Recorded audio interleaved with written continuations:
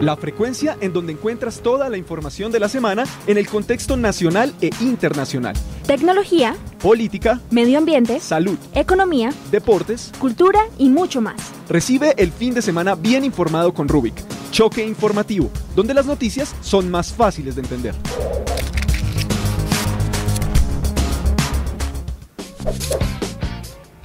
Muy buenas tardes, bienvenidos a Rubik Choque Informativo. Hoy 22 de marzo del 2019 damos la bienvenida a todos nuestros oyentes y también a nuestro equipo de trabajo. Miguel, Hola, ¿qué tal Felipe? Y también extenderle el saludo a nuestra mesa de trabajo y a ustedes, queridos oyentes. Bueno, aquí en nuestro programa 21, una tarde bastante nublada, pero aquí estamos con toda la disposición a sacarle el máximo provecho a este programa. Hola, muy buenas tardes a todos, buenas tardes a nuestros oyentes y buenas tardes a nuestra mesa de trabajo y a Dana en el máster. Gracias Gabriela, un saludo para todos nuestro- nuestros oyentes acá terminando la semana, que aunque el día, como lo acaba de decir Miguel, ha estado como tipo 6 de la tarde todo el día, eh, ha estado bastante bueno para mí, he descansado mucho y vengo con toda la actitud. Así es, compañeros de trabajo, buenas tardes a todos nuestros oyentes, dispuestos a traerles la mejor información de la semana y pues bueno, ya en nuestro vigésimo primer programa. así es, Jenny Valencia no nos puede acompañar hoy, le extendemos un saludo muy especial. Así arrancamos Rubik 5-2 de la tarde.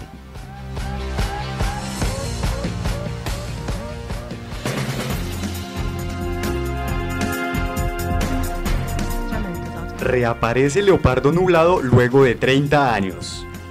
Producción petrolera creció un 8,4% en febrero frente al mismo mes en 2018. En jaque, curul de Gustavo Bolívar.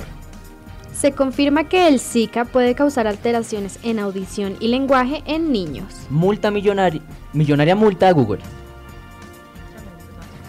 Hablamos con un experto sobre el escenario de la Jurisdicción Especial para la Paz. Fecha FIFA para Colombia, colombianos en el podio de la vuelta a París-Niza y campeón en el Primers Masters 1000 de inicio del año. La película Toy Story 4 lanza su tráiler oficial.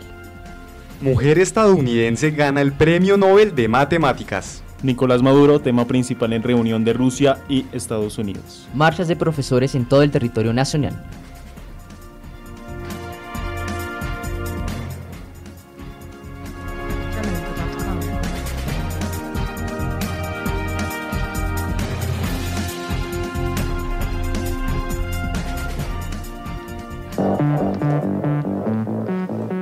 Los cinco acontecimientos que debes saber antes de entrar a clase.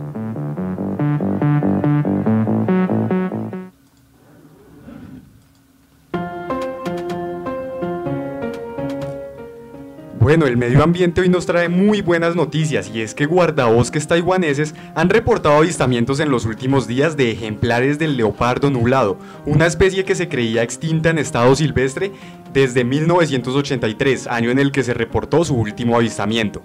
Bueno, el reciente avistamiento se dio cerca de la aldea de Alangji, donde vieron claramente a uno de estos leopardos trepar un árbol, después saltar a un acantilado y la, eh, cazar a una cabra.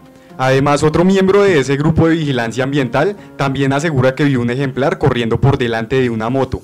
Bueno, ahora bien, tras los últimos avistamientos documentados en la costa oriental de la isla, se ha abierto el debate nuevamente sobre la especie, en el que se afirma que la especie tiene que ser retirada de la lista de animales extintas, pues para contribuir mejor a una investigación en la que se determina si el felino puede volver a rugir en la isla, ya que toca tener en cuenta que hay unos ejemplares en cautiverio.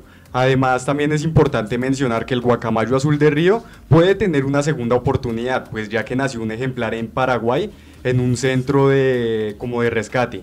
Eh, bueno, la especie había sido extinta desde septiembre del año pasado y pues actualmente se informa que el polluelo cuenta con buena salud.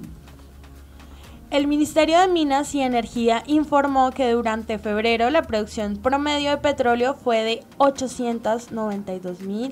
530 barriles al día, lo que muestra un incremento de 8,4% frente al mismo mes en el año 2018, en donde la producción promedio de petróleo fue de 823.050 eh, barriles diarios. Asimismo, este resultado en la producción equivale a una variación del menos 0,7% con respecto al mes anterior. Según manifestó el Ministerio a través de un comunicado, esta disminución se debe en parte a la caída de la producción en algunos campos, como lo son el Índico, Pauto Sur y Rubiales. Gustavo Bolívar, investigado por plagio y por recibir sueldo eh, del sector privado. El parlamentario del partido Decentes y uno de los escuderos de Gustavo Petro está siendo investigado por la Corte Suprema de Justicia. Porque, además de que lo acusan de incurrir en un plagio de la serie El Bronze, que emite el canal Caracol y del cual él es el libretista, la magistrada Cristina Lombana lo acusa de recibir dinero por ser precisamente el libretista de dicha serie. Grandes y millonarias sumas de dinero, señala. ¿Cuál es la polémica? La ley establece que todos los servidores públicos, incluidos los senadores, no pueden recibir otro sueldo, es decir, desde el sector privado. Bolívar estaría recibiendo dos salarios, uno de cada sector. El Instituto Nacional de Salud, después de dar seguimiento a los niños nacidos durante la epidemia que se dio del Zika, pudieron notar que el 39% de ellos presentan dificultades en su audición y lenguaje. El Instituto Nacional de Salud hizo una evaluación en cuatro oportunidades de 192 lactantes con síndrome del Zika, en ellos involucraron especialistas de distintas disciplinas, entre los que se encontraban pediatras, neurólogos, oftalmólogos, genetistas, neuropediatras y enfermeras en las ciudades de Barranquilla, Cali, Cúcuta y Neiva. Ante la evidencia, los científicos llegaron a una desalentadora conclusión. Todos los niños con antecedentes de infección prenatal por Zika, con o sin defecto congénito, deben ser considerados niños de alto riesgo neurológico y deben tener un seguimiento riguroso durante el recurso de la primera infancia. Multa millonaria a Google por abuso por posición dominante. La Comisión Europea impuso este miércoles una multa de 1.490 millones de euros a Google por abusar de su posición de dominio en el mercado de la publicidad en línea a través de su servicio AdSense for Search. Esta sanción, la tercera en menos de dos años, se impone por, cumplir, por no cumplir normas comunitarias antimonopolio. Google impulsó cláusulas restrictivas en contratos con páginas web de terceros que impidieron a sus rivales emplazar, emplazar en ellas sus propios anuncios relacionados con búsquedas. Esto es ilegal bajo las normas antimonopolio de la Unión Europea, subrayó la comisaría, quien explicó que el comportamiento irregular duró 10 años, entre el 2010, 2006 y 2016, durante los cuales la empresa estadounidense negó a otras empresas la posibilidad de competir sobre los méritos e innovación.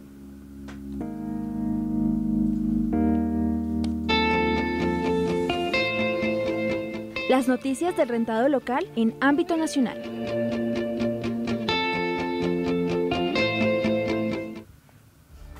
Bueno, nuestro tema central hoy es muy político. Vamos a hablar sobre la Jurisdicción Especial para la Paz y toda la problemática que ha traído consigo luego de que el presidente Iván Duque hiciera unas objeciones a seis artículos de la ley estatutaria. Tenemos un, invitado, una fuente muy importante que, que va a dar un poco su opinión y va a ejemplificar un poco la situación. Además, salimos a la calle y hablamos con la gente a ver qué sabe de la JEP.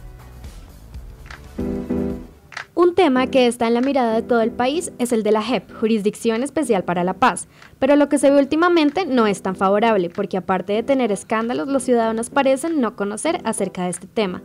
¿Tú sabes qué es la JEP y cuál es su función? Siendo que la JEP fue creada para los procesos de paz y todo lo que tiene que ver con la guerra en Colombia para que se acabara. Hasta donde tengo entendido, la JEP o Justicia Especial para la Paz es un mecanismo que busca que la ley se aplique de manera correcta a quienes estuvieron implicados en la guerra. La Jurisdicción Especial para la Paz, o JEP, es el componente de justicia, reparación y no repetición. Este fue creado por el Acuerdo de Paz entre el Gobierno Nacional y las FARC-EP. Sí sé que es la JEP eh, y es un mecanismo creado por el gobierno anterior que fue el que firmó el Tratado de Paz con la guerrilla precisamente para juzgar a dichos guerrilleros que tuvieron que ver con el conflicto armado en el país, pero no solo a los guerrilleros sino también a los militares y de por sí a todos los combatientes para saber cuál fue la realidad del conflicto armado en este país y poder tomar algún tipo de repercusión legal. Pues sí, la JEP tiene la función de administrar justicia transicional y conocer de los delitos cometidos en el marco del conflicto armado, tanto del gobierno como de las guerrillas.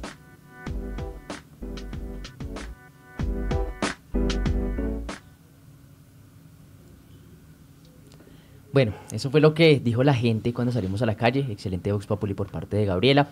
Y eso también nos introduce un poco al tema justamente que les comentaba anteriormente y que vamos a abordar hoy, la Jurisdicción Especial para la Paz. Decidimos hacerlo porque últimamente se ha hablado mucho sobre esto y creo que es fundamental que en este programa informativo le demos un abordaje y lo abordamos de la manera idónea. Por eso pues salimos a la calle también, pero nos dimos en la tarea de conseguir a una fuente, un politólogo, Samuel Moya, de la Universidad Nacional, quien actualmente también adelanta su estudio de especialización en análisis de políticas públicas. Samuel forma, parte del Comité Permanente por la Defensa de los Derechos Humanos, organización afiliada a Human Rights. Además es integrante del movimiento y plataforma juvenil de Suacha como una alternativa. Y por si fuera poco, es miembro del Grupo de Investigación, Presidencialismo y Participación Política de la Facultad de Derecho, Ciencias Sociales de la Universidad Nacional de Colombia, una persona más que preparada para informarnos sobre este tema. Bueno, Samuel, luego de las objeciones a seis leyes, se abrirá una brecha entre la ley estatutaria y la Constitución, teniendo en cuenta que la falta de un marco de reglamentación que pondría en apuros a la JEP, pues es casi que evidente. Bueno, al respecto de la primera pregunta, lo que debe señalarse es que no es que se esté atendiendo a una brecha entre la ley estatutaria y la Constitución, sino más bien a un pronunciamiento mayor de las brechas y diferencias que se eh, entendieron desde incluso periodo de campaña entre el sector ejecutivo, el presidente Iván Duque, y los pronunciamientos y fallos de la Corte Constitucional. Es decir, lo digo en el entendido de que una ley estatutaria, al defender o sobre todo al versar sobre derechos y deberes fundamentales, entra al nivel de la Constitución. Entonces no habría una contradicción entre ellos porque pues para eso se realizó ya un proceso de control de constitucionalidad de la revisión que hizo previamente el Congreso eh, y se buscó armonizar precisamente que esta ley estuviera pues en tono con la Constitución para ponerlo en esos términos. Más bien lo que se está viendo en este escenario es una profundización de la, de la separación de poderes y un conflicto que existe ante todo entre la rama legislativa, la rama ejecutiva, perdón, y eh, la rama judicial. Cuando la Corte Constitucional se pronuncia y hace las modificaciones correspondientes, y si uno hace una lectura concienzuda y detenida de las objeciones que hace el presidente Duque, muchas de estas versan es sobre pronunciamientos que la Corte ha hecho para dar de contenido a, a, a, estos artículos o a estas materias específicas sobre las cuales el presidente objeta. Entonces ese es el proceso o más bien a eso a lo que estamos atendiendo, a una profundización y a una radicalización de ese conflicto de poderes en el, en el país. Bueno, vemos que Samuel nos dice que esta brecha se crea porque hay tal vez un poco de desorganización ahí dentro del Estado. Y creo que también afecta mucho el cambio de mandato, el cambio de gobierno fue fundamental para que esto se estanque un poco porque el, el, el presidente Santos, expresidente Santos, venía haciendo el proceso junto con su gabinete y viene este cambio de gobierno que pues, pues queda en manos de la oposición del gobierno Santos, por decirlo así. Entonces también creo que allí radica un poco esa brecha que, que hay, ese movimiento que sucede ahora. Un cambio bastante brutal, eh, me uno a lo que dice Felipe y a lo que dice Samuel. De hecho, el, el gobierno anterior, el de Juan Manuel Santos, implementó la ley estatutaria para combatir eh, este, estas acciones eh, perpetradas por, por estos, este tipo de militares. Sin embargo, la ley estatutaria no se ha cumplido hasta el momento en la JEP y eso es eh, precisamente si no se cumple, pues obviamente que la JEP va a estar en apuros, como dice la pregunta. Bueno, justamente también le queremos preguntar a Samuel si hay alguna posibilidad de que estas seis objeciones se anulen y que la JEP siga funcionando como lo venía haciendo, si bien no tenía un marco legal, como venía sucediendo con el gobierno anterior. Bueno, esta segunda pregunta es bastante interesante porque es aquello que nos saca como de la incertidumbre en la que nos encontramos de momento con esta coyuntura. Eh, la posibilidad que existe de que la JEP, tal como está, sin las objeciones, sin las modificaciones consideradas por el presidente Iván Duque, por obviamente la influencia del, del fiscal Néstor Humberto Martínez y toda la bancada del Centro Democrático, la posibilidad que existe es que al pasar nuevamente por el Congreso, el Congreso decida no, no implementar o por votación, obviamente se nieguen las modificaciones y las objeciones del presidente. Al, al respecto de eso, toda, hay que decir que bueno, la JEP ya venía operando, pero sin mayor alcance, dado que no tenía una ley estatutaria que versara sobre sobre aquello que debe reglamentarse para la justicia transicional en el país. Entonces ese es el problema principal, ante todo, que la JEP está funcionando sin un contenido claro que le brinde certezas a las víctimas del conflicto y a los diferentes actores interesados en participar en la Jurisdicción Especial de Paz. Entonces la posibilidad que existe es que la oposición en el Congreso sea tal para que las objeciones no pasen eh, y obviamente ya el, presidente se tenga que, fallar la ley y aprobarla en su conjunto tal y como estaba. Y entonces ahí sí podríamos hablar de que la, la JEP contraría con un marco específico para poder implementarse y funcionar. Hasta entonces eh, seguimos como en una incertidumbre con respecto a lo que será pues ese proceso de justicia transicional en el país y cuál sería su marco normativo. Justamente hablando del Congreso, la mayoría del Congreso, por la mitad más uno, como se dice, es del Centro Democrático, bueno, no del Centro Democrático, todas sus curules, pero sí cierta afiliación por parte de, de los partidos conformados que apoyan justamente el gobierno del presidente Duque. Entonces también si llega a pasar por el Congreso también hay una dualidad ahí de que, qué puede pasar si se somete a votación nuevamente, qué puede llegar a suceder, ¿no? Además, que esto es demasiado, eh, digamos que para las víctimas y para quienes están involucrados en este proceso es triste de alguna forma porque están en el limbo, no se sabe en este momento qué va a pasar y precisamente si se pasa por el Congreso en un, en un en un grupo de personas que están en oposición a la JEP, pues lo más probable es que volvamos otra vez a, a, lo mismo de siempre. Sí, exacto, quedaría como la decisión en unos pocos y no en unos generales como se había venido haciendo. No, y teniendo en cuenta que el Congreso y más allá los demás entes políticos e, e, instituciones políticas de nuestro país se encuentran divididas. Y de acuerdo a esto, pues, ¿qué efectos políticos, sociales y fiscales tienen para Colombia la aprobación o desaprobación de las seis objeciones propuestas por el presidente Duque? Respecto de los efectos de la aprobación o desaprobación de las objeciones, eh, es muy importante dado que pues en términos políticos hay que decir que la aprobación o desaprobación de estas objeciones implicaría como medir el pulso con respecto a la gobernabilidad efectiva que tiene el presidente en sus relaciones con el Congreso, es decir, implicaría la posibilidad de ver cómo están alineadas sus fuerzas y qué tanto, en efecto, esa alianza partidista que quizás lo ubica él en la presidencia, eh, tiene su correlato específico en un respaldo en las medidas en el Congreso. Hay que decir que esto ha sido bastante polémico, puesto que han salido varios partidos que dieron en algún momento su respaldo al presidente Duque en periodo de campaña, ya manifestando su oposición a las objeciones, como lo ha sido el Partido Liberal y el Partido de la U.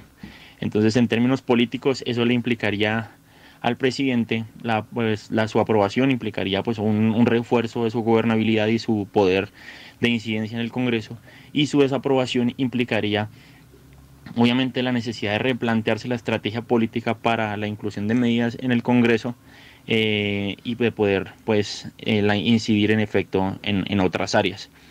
Socialmente, pues esto hay que decirlo que la, el presidente Duque pues actualmente cuenta con un margen de aprobación importante.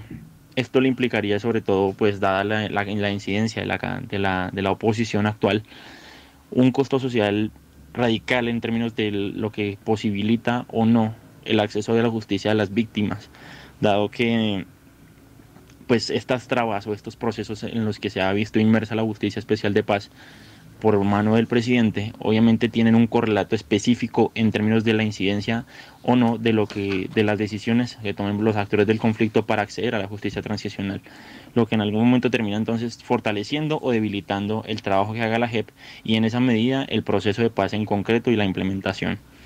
Ahora, en términos fiscales, eso implicaría, o lo que implica las objeciones, sobre todo aquellas que versan sobre los máximos responsables, eh, la falta de determinación con respecto a, la, a, los procesos o la continuidad de los mismos por jurisdicción ordinaria, implicaría pues un poco la, la sobrecarga nuevamente de asumir esos cargos o esos, o esas, ¿cómo decirlo? esos procesos por parte de la jurisdicción ordinaria y sería muy triste que no se pudiera dar acceso a la justicia a las víctimas, viendo nuevamente un escenario de congestión del aparato judicial como se pudo haber dado en una experiencia similar en el pasado con el proceso de justicia y paz, donde muy pocas personas accedieron a la justicia y se resultó eh, con grandes archivos judiciales de procesos que nunca terminaron de resolverse. Ya que apuntamos a, eh, los efectos que tendrían estas seis objeciones, hay que apuntar también que el presidente Duque objetó una de la, bueno, seis de los puntos más importantes de la ley estatutaria. Y el argumento que Duque daba era que no se evidenciaba o no se esclarecía muy bien cuál era la postura que tomaba eh, la JEP respecto a las decisiones que había que tomar frente a, este tipo de personas que se presentaban a la Jurisdicción Especial para la Paz. Por eso es que eh, también son posturas eh, que se pueden ver desde diferentes puntos de vista. Bueno, algo que quiero saber también es como de los entes que está, eh, los entes internacionales que están relacionados con la JEP. ¿Cómo han tomado esta situación los entes y qué solución proponen ante la situación actual de la JEP? Hay que decir que hay una posición claramente marcada en rechazo a estas objeciones y en respaldo a, lo, a la JEP y a su implementación. Las Naciones Unidas eh, se mostraron claramente en apoyo a la JEP, buscando que se dé trámite ya a la justicia transicional, a la reparación de las víctimas. Y la medida o la posición que, que han tomado es más en vía de darle trámite a la implementación pronta del, de este sistema de justicia transicional, de esta ley estatutaria, para que las víctimas en efecto puedan acceder a, a este pues a la justicia y a la reparación y garantías de no repartición y todo lo que comprende un sistema de justicia transicional. Entonces hay que decir que la comunidad internacional ha, tomó con un poco de sorpresa este tema, aunque hay que decir que este proceso de paz no ha estado exento de sorpresas. Desde la victoria del no en el plebiscito, claramente la comunidad internacional pues no ha parado de estar como en sorprendida con respecto a Colombia y a este proceso en particular. Pero claro, la posición ha estado más en esa vía, en blindar el acuerdo, en blindar la Jurisdicción Especial de Paz y de proponer, sobre todo, que se le dé trámite a su pronta implementación. Esto ha salido desde Naciones Unidas. Hubo una carta de un movimiento de víctimas del conflicto que llegó a Naciones Unidas y que obviamente provoca este pronunciamiento. Y también eh, días antes veíamos el pronunciamiento del ex, del, del ex alto comisionado para la paz, Sergio Jaramillo, que formó parte de la delegación del gobierno en el proceso de paz en La Habana, eh, pronunciándose claramente en desacuerdo con las objeciones, en desacuerdo con el, pronunciamiento que hace eh, el presidente con respecto a los fallos de la Corte Constitucional y obviamente diciendo que esto deja muy mal parada a Colombia ante la comunidad internacional, que ya se estaba armando o gestando un nuevo imaginario político con respecto a lo que es Colombia, posicionándola como una imagen y una, y una experiencia de procesos de paz que deben ser lecciones para la humanidad entera. Entonces, esta es como la posición que toma la comunidad internacional respecto a este tema. Justamente hablábamos de una carta que llegó por parte de las víctimas que Sergio Fajardo también apoyó. Sergio Fajardo no pudo asistir a las marchas que se, que se llevaron a cabo, la convocó, por decirlo así, estuvo, fue participante en redes sociales, no pudo estar porque estaba fuera del país, también fue un poco criticado por eso, pero también justamente en esto internacional llama la atención que se pronuncien estos entes, porque todo el proceso siempre estuvo garantizado por, por garantes justamente internacionales. Se, llevó a, se llevó a cabo en Cuba, estuvo Noruega, Chile, o sea, llama la atención que, que, se, que intervengan de esta manera y que, que, lo hagan justamente para ver qué sucedió con la JEP. También le queremos preguntar a Samuel, eh, que vimos en la oposición en cabeza de Juanita Gobertus, que se pronunció acerca de la JEP. ¿Es posible que este discurso tenga incidencia alguna ante una eventual toma de decisiones por parte del gobierno justamente hacia la JEP? Bueno, este tema de la oposición política en la coyuntura actual me parece muy importante, dado que pues es la primera vez que se ejerce el derecho a la réplica consignado en el estatuto a la oposición, es decir, la primera vez que en efecto la oposición se manifiesta con respecto a las, a las decisiones o pronunciamientos del, del presidente, lo que más allá de construir un hito o de constituir un hito histórico es, supremamente relevante a la hora de construcción de criterio político en el país. Entonces, ahora, con respecto a la posibilidad efectiva de la incidencia de estas, de estas de esta, de esta réplica hecha por la oposición a las objeciones, hay que decir que el escenario está dado para que el Congreso sea el que determine en efecto qué es lo que pasa con respecto a estas objeciones. Entonces, aquello dicho por Juanita Gubertus en cabeza de la oposición política en el Congreso es de extrema relevancia, pese a que ya se creó una comisión accidental para, para atender estos temas de las objeciones y, realizar las relatorías y todo el proceso en el Congreso. Hay que decir que también hay un grupo de oposición en la Cámara de Representantes bastante fuerte que ha estado generando opinión política importante con respecto a estas objeciones, en cabeza de personajes claramente como Juanita Gubertus y David Racero, María José Pizarro, Jorge Robledo, que han estado marcando desde el principio, desde que se pronuncia el presidente, pues una clara tendencia a replicar estas medidas y a oponerse a la aprobación de las mismas en el Congreso. Entonces hay que decir que dada la fuerza política que han cobrado estos personajes y la oposición en el Congreso, es muy es como favorable el espacio para la para la oposición. Y entonces hay que decir que hay un espacio importante para que estos para que este pronunciamiento y lo que la oposición en efecto pueda hacer dentro del Congreso tenga relevancia y logre pues eh, dar como trámite. Falta ver es cómo se terminan de alinear las fuerzas dentro de, del Congreso para que esto en efecto tenga trámite. Pero el escenario está dado para que la oposición tenga un papel importante en la, en la determinación final con respecto a eso. Sí, llama la atención que la oposición sea la voz que nos represente, ¿no? A los que sí estamos apoyando a la JEP y, y, más que a la JEP, al proceso de paz en general y a todo lo que ha sucedido en estos años desde el presidente Juan Manuel Santos que, que inició. Entonces nos sentimos de cierta manera representados, es histórico que la oposición haga una locución pública eh, y hable y se pronuncie y todos sus referentes más fuertes estén ahí diciendo, bueno, vamos a luchar para que las cosas se concreten y lleguen a un punto en que en general beneficie a todos. Ya que hablamos de escenarios actuales, como lo acaba de decir nuestro invitado, yo quisiera saber cuáles son realmente los escenarios reales que vienen para Colombia con la situación actual de la Jurisdicción Especial para la Paz. Hay que decir que, bueno, el panorama actual es de incertidumbre, puesto sobre todo desde, desde actores del conflicto como, como las víctimas y como los guerrilleros que están en proceso de implementación y reincorporación a la vida civil.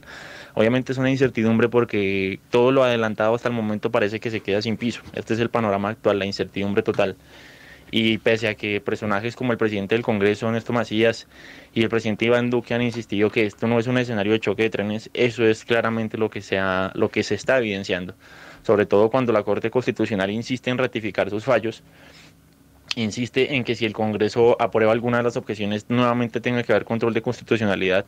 Y como lo mencionaba eh, Sergio Jaramillo, el, el exalto comisionado para la paz, eh, existe claramente una, una tendencia del presidente y sobre todo del centro democrático a como a rechazar aquel, el accionar de la Corte Constitucional. Entonces lo que evidenciamos es una incertidumbre, un choque de trenes importante entre la rama judicial y el Ejecutivo, eh, sobre todo en términos constitucionales, y preocupa claramente el panorama para las víctimas y para los guerrilleros interesados en reincorporarse a la vida civil cuando no existe un sistema claro de justicia especial y transicional para la paz como lo es la JEP, cuando no está completamente reglamentado. Y digo no existe precisamente porque dado el positivismo jurídico en el que estamos inmersos, mientras no exista una ley que avale y regule con plenitud este tema y esta área, pues obviamente estamos en una incertidumbre con respecto lo que viene para la paz. Y justamente eso es algo de lo que más preocupa, porque si en el tema, que quizás es el, eje central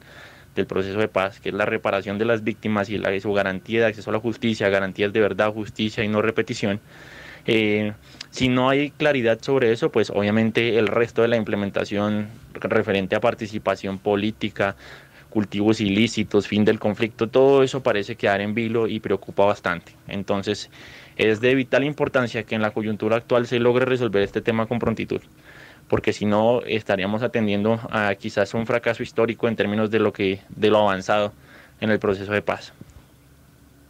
Bueno, le damos las gracias a Samuel Moya por colaborarnos en este espacio, por hacer parte de Rubik, por abrirnos un poco más el escenario, explicarnos algunas cosas que tal vez la gente no suele tener clara, habla sobre algo que, que tal vez tiene tecnicismos que no entendemos, son temas pues en el sentido de la palabra ladrilludos porque son es político, es jurídico además. Entonces, muchas gracias a Samuel, extendemos la invitación para que nos pueda acompañar también en otros programas y este también es su casa, Rubik. Sí, además porque eh, justamente estos temas son necesarios, entonces es importante que traigamos esto acá al, al programa porque eh, es importante pensar que viene para Colombia, que viene para las víctimas después de tantos años de querer la paz y, y de que, como lo, lo dijo también Samuel, hay muchas sorpresas, entonces que esto no termine en un hecho lamentable. Exactamente, Ana, y también me uno a Samuel y a Felipe a la hora de afirmar que a la hora de hablar de la Jurisdicción Especial para la Paz, muchas partes de la sociedad están a favor de ella, pero la verdad hay un, hay un gran desconocimiento sobre lo que esta hace. E incluso, pues, mucho se habla también de los seis puntos de Duque, pero ¿cuáles son? Bueno, pues se habla de la reaparición de las víctimas, la verificación del alto comisionado de la paz, la investigación en la justicia ordinaria, delitos de lesa humanidad, pruebas en caso de extradición y ofrecimiento en la verdad. Entonces, pues, eh, de acuerdo a estas objeciones que hizo Duque en estos en, específicamente en estos puntos, es que ha empezado el choque de trenes al que se refería Samuel y toda esta gran división política en la que últimamente se ha llegado a afirmar que Cambio Radical en su alianza con los liberales, bueno, en su posible alianza con los liberales, son los que van a tener la decisión final en este debate.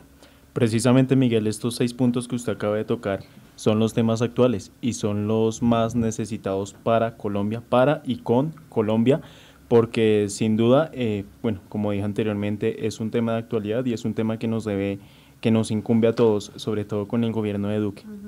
Claro que sí, esperamos que este tema de la JEP se resuelva, ya que pues en Washington la, la Comisión Interamericana de Derechos Humanos manifestó que pues la JEP no tiene ley estatutaria y ya han pasado varios años desde la firma del acuerdo de paz entre el gobierno y la guerrilla de las FARC. Entonces, pues esperamos que la verdad esto se solucione pronto porque los que más se ven afectados, eh, valga la redundancia, son los que estuvieron en el em, en el conflicto armado, los, los que vivieron la guerra, las víctimas. inversión de primer nivel en la guerra, sí, justamente. Hubo marchas esta semana eh, apoyando a la JEP. Vimos a varios a varias figuras políticas representativas como Claudia López, también Humberto de la Calle que hizo parte justamente del proceso de paz y fue también candidato a la presidencia en su momento. De hecho, renació el hashtag Abracemos la JEP.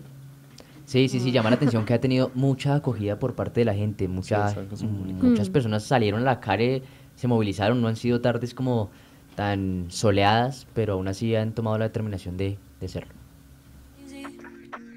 Bueno, de esa manera habíamos cerrado nuestro tema político, que fue realmente muy fructífero para todos acá en la mesa con nuestra fuente Samuel. Muchas gracias a todos nuestros oyentes ahí también por participar en nuestras redes. Esperamos a ver qué sucede con la JEP y traeremos cualquier información.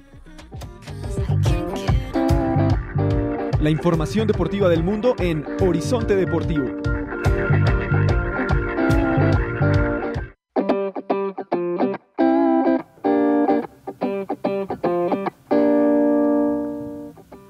¿Y qué tenemos en deportes? Bueno, el día de hoy arrancó la, la era Queiroz con la selección Colombia. Eh, derrotando al seleccionado de Japón en Yokohama gracias a un tanto de penalti del Tigre Radamel Falcao. Bueno, del encuentro es necesario decir y necesario afirmar que el entrenador luso afirmó que ha sido un encuentro que nos permite tener unas buenas conclusiones. Estoy feliz con la exhibición y el trabajo de todos. Eh, fue la gran conclusión que dejó el partido para el entrenador. Además, en otras noticias, eh, la Copa América que se llevará a cabo en el año 2020, al parecer Colombia va a ser la única anfitriona tras varios comentarios de periodistas argentinos que han afirmado que por problemas económicos del país, Colombia pues queda única como, como anfitriona y como candidata para realizar este torneo que se realizará gracias a la Conmebol y su decisión de igualar con la Eurocopa. ¿Cómo quedó el Tour de París-Niza? El pedalista colombiano Egan Bernal del equipo de Sky conquistó el Tour de París-Niza que finalizó eh, este domingo con la victoria del español Ion Izaguirre en la octava etapa. Nairo Quintana por su parte finalizó segundo a 39 segundos del otro colombiano. El tenista austriaco Dominic Thiem, número 4 del ranking mundial, se consagró campeón de Indian Wells, primer Masters 1000 del año. En la final reñida, que se extendió hasta el tercer set, Tim derrotó a Roger Federer que buscaba su título 101 en el circuito ATP con parciales de 3-6, 6-3 y 7-5 en 2 horas y 3 minutos de juego. El nuevo mejor deportista pago del mundo se encuentra en el béisbol. Mike Trout, jugador de los Angelinos de Los Ángeles, considerado el mejor pelotero de esta generación, firmó su renovación por 12 años a razón de 430 millones de dólares. El jardinero de 27 años sería agente libre en 2020 y según allegados ya tenía tentadoras ofertas de otros equipos como los Phillies de su ciudad natal. Por ti, que te enorgulleces de ser unicentralista. Por ti, que dejas en alto el nombre de la universidad. Por ti, que día a día te esfuerzas por ser mejor. Por ti y por todos los que creemos en este proyecto, se construye el nuevo campus de la Universidad Central. Un complejo académico con diseños modernos, zonas verdes, salas interactivas, espacios culturales, del cual no querrás salir. Visita la página de la universidad y conoce más sobre el proyecto campus. Universidad Central, tu mejor elección. Amiga, no hay nadie en el salón. ¿Dónde están? La profe mandó correo que no había clase. Ah, ¿en serio? ¿Otra vez yo no miro el correo? Yo sí reviso mi correo y así estoy pendiente de todas las actividades que brinda la universidad y no pierdo tiempo. Revisa tu correo con frecuencia. Siéntete centralista. Una campaña de la Universidad Central y Sintopía Radio. Universidad Central te conecta. En escena cultural encuentras lo mejor del arte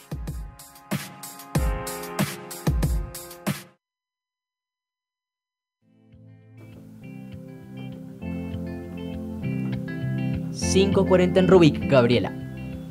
Eh, bueno, pues yo les tengo que la película Toy Story 4 lanza su tráiler oficial. Y con el tráiler también llega un nuevo personaje. Y pues si ustedes pensaban que esta vez ninguno de los juguetes que ya conocemos termina extraviado o alejado de su hogar, están totalmente equivocados. Esta vez se trata de Woody, junto a un nuevo amiguito que vamos a poder conocer con detalle más adelante. La sinopsis de la película es la siguiente. Woody siempre ha tenido claro cuál era su lugar en el mundo y sabía que su prioridad era cuidar de su hijo, ya sea Andy o Bonnie. Pero cuando Bonnie llega con un nuevo juguete llamado Forky a su habitación, una aventura de viaje por carretera junto a viejos y nuevos amigos le mostrará a Woody lo grande que puede ser el mundo para un peluche. Esta producción se estrena en Colombia el próximo 20 de junio y se espera ser una de las más taquilleras. Pues todavía queda harto. Me enteré que Nicolás iba a verla. Yo soy tu amigo. A mí me sorprendió bastante el tráiler porque yo creía que iba a volver a salir Andy. Eh, como cronológicamente siempre había salido, pero ya sale la niña, que salió creo que al final de la cuarta, a, la que Andy, de la tercera a la que Andy le deja los juguetes, entonces me parece que es muy bonito como la secuencia y, y los nuevos personajes que van a salir. Aparte que, aparte que se puede notar a Andy en el tráiler. Es un pedacito corto, como en un recuerdo que viene en Woody. Pero pues la gente también está muy nostálgica viendo a Andy, pero también hay como controversia, porque pues ustedes saben, Andy no es igual a los a las eh, como se ve en las películas anteriores. A mí me sorprendió el, la llegada de la pastorcita. Ah, sí, a mí también. regresó. Y viene, y viene con ropa distinta Empoderada. y todo. Como una diva, una loba. Y además, no, una incógnita que también deja el tráiler es dónde están los señores cara de papa. Slinky. El marrano Exactamente. Pues eso ha sido polémica en redes sociales, pero no se preocupen, hay otro tráiler en el que sí aparecen estos personajes. No se sabe qué tan protagónicos serán, pero van a aparecer. Así que tranquilos. Bueno, ¿me recuerdas cuándo es que sale en cartelera? El 20 de junio de este año. Uh, junio, aún queda un buen tiempo para que vayan ahorrando. Siempre estos diarios de aquí a junio. Todos aquí ahorren. si Rubek sigue, regalaremos boletas. es verdad. 5.42 en Rubik. Perspectiva Universal, lo que es noticia a nivel mundial.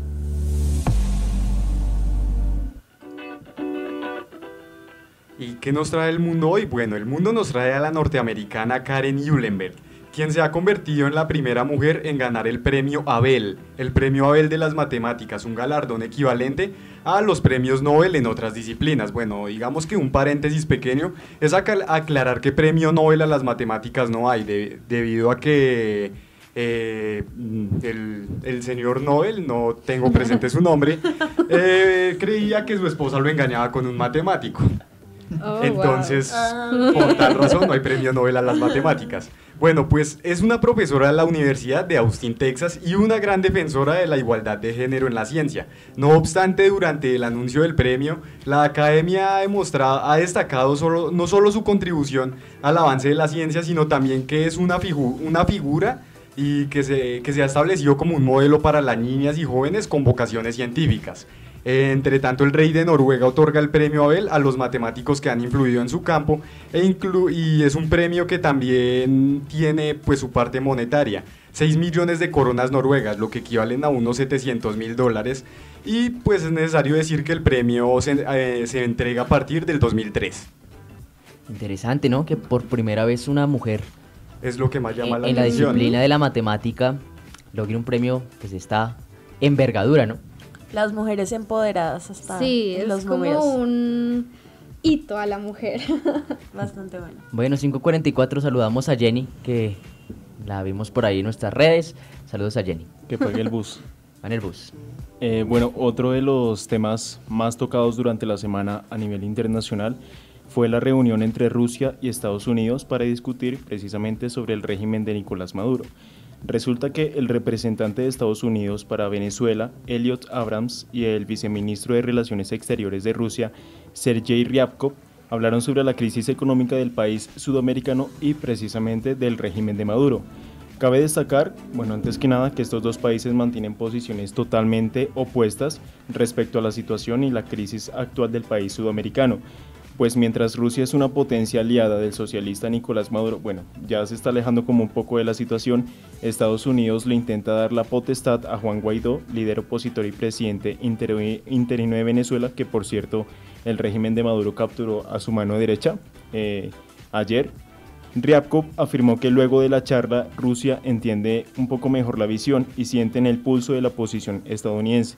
Sin duda esto deja un poco mal situado al régimen de Maduro, y a, sus, y a su ejército, porque ya Rusia está como eh, tomando medidas drásticas respecto a la decisión de a quién quiero apoyar.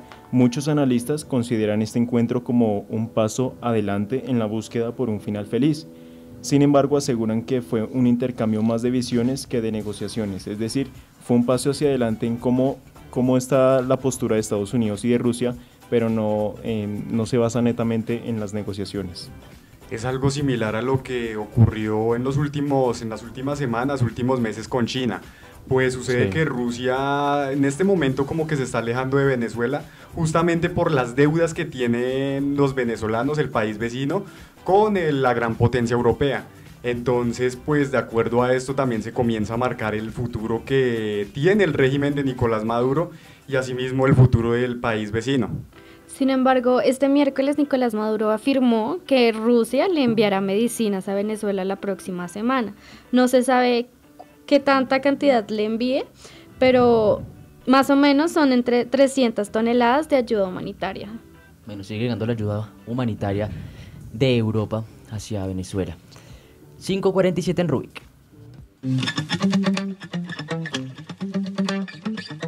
Las mejores reseñas musicales en Notas al Aire.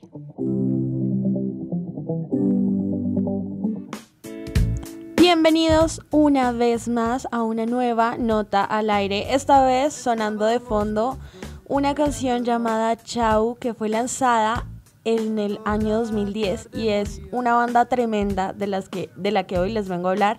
Esta banda se llama No Te Va a Gustar, que es popularmente abreviada como NTV G es una banda uruguaya de rock formada el 25 de junio de 1994 en Montevideo. La historia del nombre de esta banda es bastante curiosa, pues cuenta la leyenda que a la hora de hacer la primera presentación en un festival, la banda todavía no tenía un nombre. Emiliano, quien es eh, el vocalista de la banda, y Mateo, que, eh, quien es uno de los integrantes de la, de la banda, pensaron en un nombre que según cuentan era bastante malo y por eso eh, no contaron realmente cuál era este nombre que pensaron. Pero cuando le fueron a contar a Pablo, que es el baterista de la banda, le dijeron textualmente, tenemos el nombre, no te va a gustar. A este le respondió él, está buenísimo, eh, me encanta, se dieron cuenta de que entonces era mucho mejor que el que habían pensado y decidieron definitivamente dejar este nombre. No te va a gustar, eh, es una banda bastante, bastante buena eh, que ha fusionado diferentes sonidos a lo largo de su historia. Se formó, como ya les había dicho, en el año 94, cuando la mayoría de sus miembros todavía tenían alrededor de 16 años.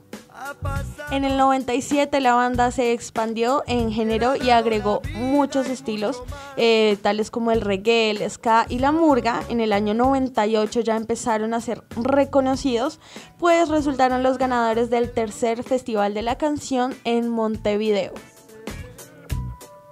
Durante el año 2002 grabaron su segundo disco. Este se llama eh, Este fuerte viento que sopla en la ciudad de Santiago de Chile y a partir de ese momento lograron consolidarse como una de las principales bandas referentes del rock uruguayo. Alcanzaron el disco de oro a tan solo seis meses del lanzamiento pues, de este segundo álbum. Hoy no te va a gustar, cuenta con nueve álbumes de los cuales el último eh, es Suenan las alarmas, que fue lanzado en el año 2017, en el cual, en palabras del mismo Emiliano, es un disco bastante intenso en cuanto a las letras y a la música, pues la música la acompaña bastante, el audio es bastante denso, como en los tiempos en los que vivimos. Es un disco con urgencia en los tiempos turbulentos que vivimos hoy.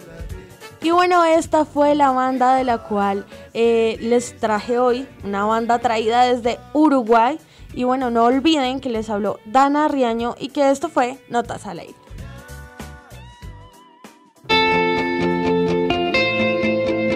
Las noticias del rentado local en ámbito nacional.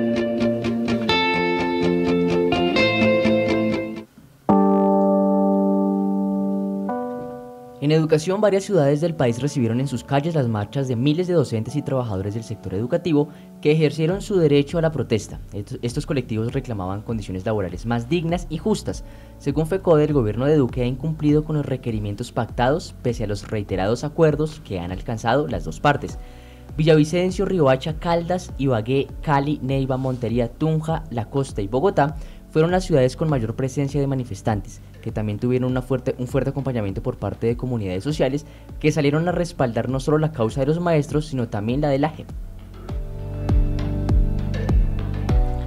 En redes sociales, bueno, como en muchos programas aquí en Rubik hemos hablado de la delgada línea que hay entre la libertad de expresión y las medidas que se deberían tomar frente a algunos casos en donde se afecta la integridad de los usuarios, eh, ya que no hay ningún tipo de restricciones. En este sentido, la Corte Constitucional, después de haber estudiado tutelas de algunos ciudadanos, quienes afirmaban que les estaban afectando su honra y buen nombre, la Corte aseguró que para que haya una publicación, que para que una publicación en Facebook, Twitter, YouTube e Instagram genere una grave afectación debe tener reales descalificaciones inadmisibles, en sus palabras, en una democracia constitucional.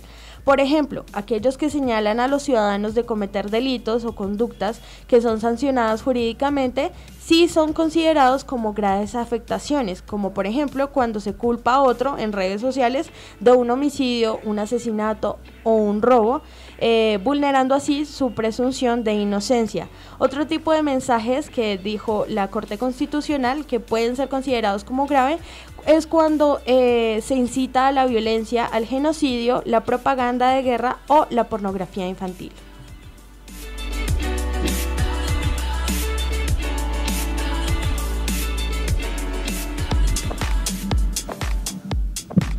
En Rubik, Choque Informativo, te presentamos el personaje y la frase de la semana.